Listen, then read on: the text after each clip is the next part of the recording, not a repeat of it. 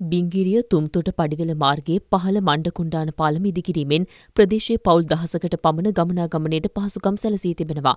එය ජනතා අයිතියට පත් කෙරුණේ රාජ්‍ය අමාත්‍ය ශාන්ත බණ්ඩාර මහතාගේ ප්‍රධානත්වයෙන්. ග්‍රාමීය පාලම් එක්දහස් අටසියක් මේ වන විටත් ඉදිකිරීමට රජය කටයුතු කර තිබෙනවා. මේ අතර රුපියල් ලක්ෂ අසුවක වියදමින් ඉදිකළ වැලිපැන්න ගහමුල්ල නවතැපැල් කාර්යාල ගොඩනැගිල්ලද ජනතා අයිතියට පත්කිරීම සිදුවනේ රාජ්‍ය අමාත්‍ය ශාන්ත බණ්ඩාර මහතාගේ ප්‍රධානත්වයෙන්. තැපැල්පති රුවන් සත්කුමාර මහතාද මෙම අවස්ථාවට එක්ව සිටියා.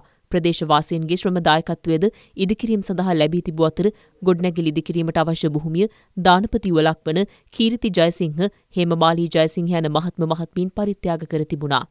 2025 වර්ෂය වෙනකොට තැපැල් දෙපාර්තමේන්තුව තවදුරටත් භාණ්ඩාගාරයේ මත යටන දෙපාර්තමේන්තුව බවට පත් කරන්නේ නැතුව අපි නවීන තාක්ෂණයත් එක්ක ඉදිරියට යන්න බලාපොරොත්තු වෙනවා.